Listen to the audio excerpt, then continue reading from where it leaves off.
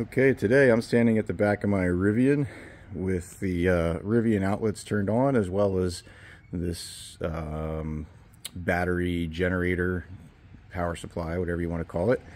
Um, I have a Tesla mobile connector and I have the Rivian portable charger.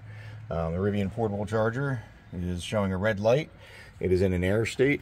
It will not work right now. The Tesla mobile connector is doing the same. We should see that red T. If you can see it turning blinking red there. They are not happy. That is due to ground problems.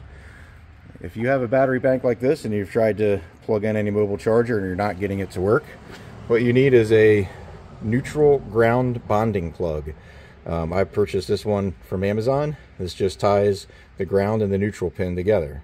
Um, so if I plug this into this battery bank and just wait a few seconds.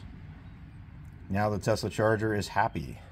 Now that mobile connector will work and will charge a car at a level one rate, approximately 12 amps, 120 volts.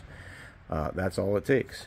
Now, if I unplug it and we wait, it almost immediately goes back into an air state. So it just wants to see a happy ground and neutral. Uh, this, this plug will do the job. Now, I can't do the same thing on the Rivian. If I plug this, the Rivian has another power outlet up under the, or behind the center console up front.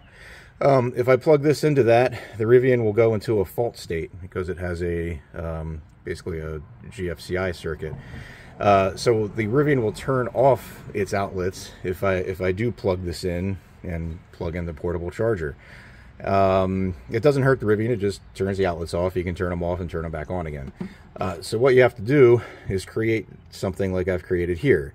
This is an extension cord and I put a new end on it where I have jumped on the receptacle side the neutral and the ground together and the ground coming from this side um, is not connected to anything. So this wire is, is, is cut up here and is not connected and the neutral and the ground are, are connected together.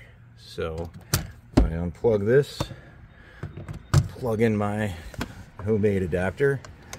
I don't recommend making that unless you understand exactly what I've just said. But if I plug that in, now the charger will go through its little startup sequence and now we have a solid white light.